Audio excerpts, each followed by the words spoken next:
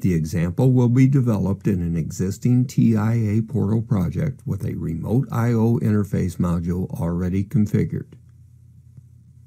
In Project View, click the remote I.O. device you wish to add modules to. And change to the Device View by clicking the Device View tab. Open the Hardware Catalog by clicking the tab. In this example, we will first add a digital input module. Start by expanding the DI selection.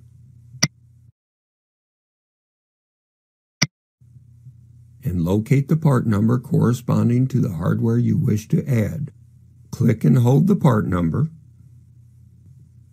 to drag the part from the hardware catalog and drop it into the correct slot of the remote I.O. device.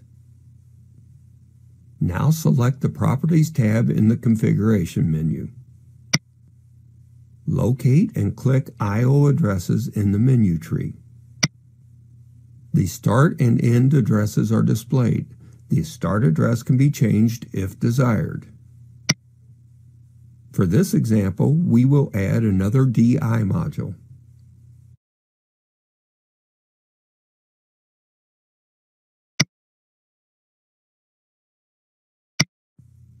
And check the addressing for it as well. Now we will add a digital output module to our configuration.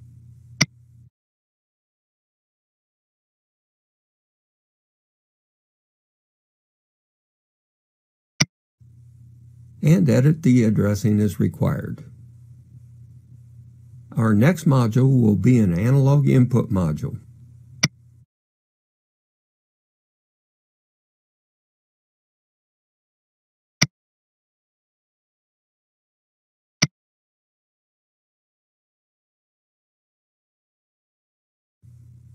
The analog inputs have several configuration options. Click Channel 0 to configure the channel.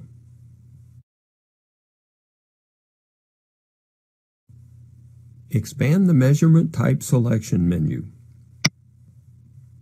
And, in this example, we will set the channel for a voltage input.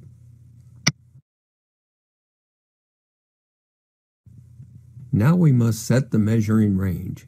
Expand the selection menu and select the desired measurement range, 0 to 10 volts in this example. Now let's add an analog output module.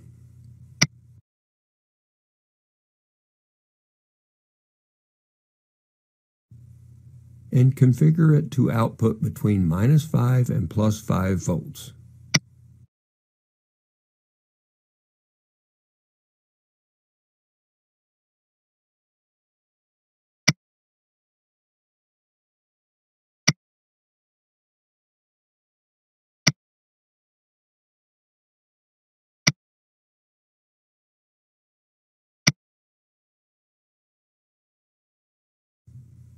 When the configuration is complete, compile